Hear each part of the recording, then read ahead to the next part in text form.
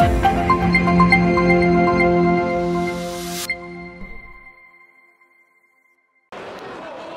В Одесі відбувся Кубок світу з козацького двобою серед дорослих, молоді та юніорів. Бої традиційно проходили в перших числах червня в спорткомплексі Національного університету Одеська юридична академія за підтримки почесного громадянина міста Одеси та Одеської області Сергія Ківалова. Незважаючи на світову пандемію, у змаганнях взяли участь близько 550 учасників з дев'яти країн світу. Сегодня большое, я считаю, огромное событие для всего спортивного сообщества Украины, потому что Национальный университет Одесская юридическая академия сегодня принимает Кубок мира по казацкому двобою. Ну, для украинцев, наверное, это особенный вид спорта, это национальный вид спорта, это спорт, который отображает наш замечательный дух нашего народа, дух казацкого народа. И очень приятно, что сегодня представлены на этом турнире не только представители Украины, а представители огромного количества стран мира. Это говорит о том, что это данный вид спорта, он развивается, развивается везде и становится очень интере- интересным. Уже э, больше шести лет проходят постоянно ежегодные турниры. У нас э, Кубки мира проводятся здесь, в Одессе. Вот, и лишь в том году, когда был локдаун или пандемия, там э, не было возможности ребятам выехать, выступить. Сейчас, слава богу, идем опять тем же боевым путем, и ребята приехали из других стран. Само собой повлияло то, что не, не, не могли заниматься в залах ребята, но те люди, которые выступают на таких турнирах, они, как правило, тренируются в любых условиях и там во, во дворах, на площадках. Традиційно в козацькому двобої є розділ, в якому бої проходять за правилами ММА в октагоні. Вони збирають найбільшу кількість глядачів. Не виключенням став і цей рік. Президент Всеукраїнської федерації з козацького двобою каже, що динаміка росту популярності цього виду єдиноборств досить позитивна, і це добре, тому що розвиток національного виду спорту є пріоритетом кожної держави. Козацкий двубей – это украинская национальная школа смешанных единоборств. Наш турнир собрал 550 участников из 8 стран. Это как страны ближнего зарубежья, так и дальнего зарубежья. Этот турнир мы уже традиционно проводим с 2015 года в Одессе, в Южной Пальмире. Сама Одесса – великолепный город, который располагает именно к проведению высоких э, международных турниров. Это наличие аэропорта, это море. Э, Дети, которые приезжают, они отдыхают. Э, Естественно, огромное спасибо за поддержку, за поддержку э, Сергею Васильевичу Кивалову, за поддержку Академии в проведении мероприятий. Э, Во всем идут навстречу. Э, Действительно комфортные условия и для детей, и для взрослых спортсменов. Вперше на Кубку світу з козацького двобою свої сили спробували вихованці боксерського клубу Академія боксу. Голова первинної профспілкової організації Одеської юракадемії Валентин Федоров каже, що у виші створені всі необхідні умови для всебічного розвитку спортсмена. Понад 10 спортивних залів та майданчиків функціонують на території університету, серед яких ігрові зали для гри у мініфутбол, баскетбол, волейбол, простір для настільного тенісу, стадіон, тренажерні зали та тенісний корт, що розташований на береговій лінії біля восьмої станції Великого фонтану. На території університету менше року діє професійний боксерський клуб Академія боксу, який вже за досить короткий проміжок часу виховав багато чемпіонів. Двое из наших бойцов уже вышли в финал. Надеемся на их победу. И я уверен, что мы заберем большое количество медалей, потому что нашему клубу буквально не так много, три месяца, но мы не- недавно буквально на э, чемпионате Украины по комбату СИО взяли 5 золотых, 4 серебряных медали.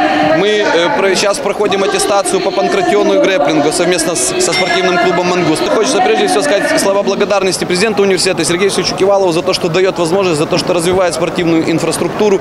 И сегодня, благодаря этим усилиям, в том числе Одесса принимает такой масштабный турнир.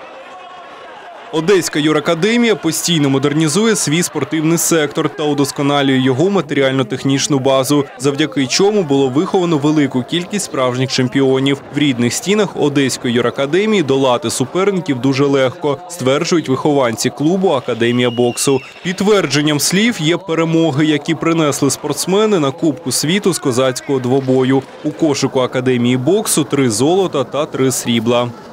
Я уже сам 16 лет э, занимаюсь спортом, путешествую и на многих соревнованиях э, выступал, смотрел, как организовывают соревнования, как э, проводят э, площадки от юридической академии, ничем не уступают другим площадкам. Здесь все условия созданы для того, чтобы себя чувствовали комфортно и спортсмены, и зрители. Если бы не моя команда Академия бокса, опять же таки повторюсь, то я не знаю, где бы я был завтра, где бы я был сегодня. Благодаря Антону Андреевичу, Сергею Васильевичу Кивалову за предоставленный такой красивый зал, хорошие условия. Все было выделено абсолютно все по подготовке. Диета, питание, тренировки три раза в день, весосгонка, все, все было на высшем уровне. По сопернику хочу сказать, просто благодаря моей подготовке я вышел более опытным, более серьезный, подготовлен. Поэтому тут просто без шансов, я не оставил никаких шансов сопернику. Это первые в моей жизни соревнования вот ну, такого уровня, Кубок мира. И пе- первый раз участвую в таком виде спорта, как казахский двобой. Очень приятно сегодня находиться именно в стенах родного вуза.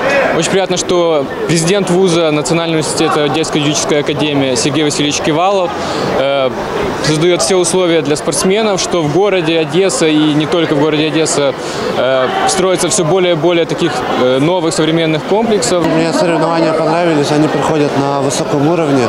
Как бы соперники тоже были э, опытные. То есть не было такого, что вышел, легко боролся. Как бы, особенно в финале вот сложная схватка была. Выигрывал по очкам 6-0, но потом отдал руку как бы на болевой, расслабился.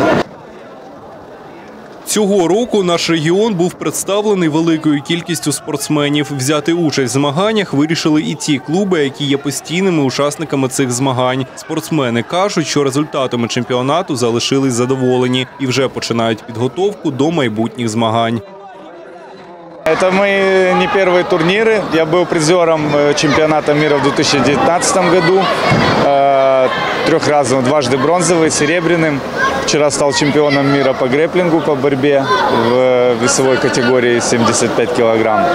Э, Эмоции очень хорошие, побольше бы таких проводилось мероприятий. Я считаю, что стоит заниматься нашим видом спорта, потому что наш спорт это ММА.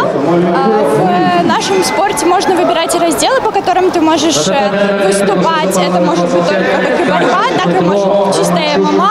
А в других видах спорта, которые связаны даже с борьбой, там э, у тебя есть определенные рамки. А здесь можно выйти и попробовать себя в чем-то другом. Сегодня у нас проходит Кубок мира, на котором я одержал первое место, проведя два непростых поединка. Я их выиграл э, решением судей.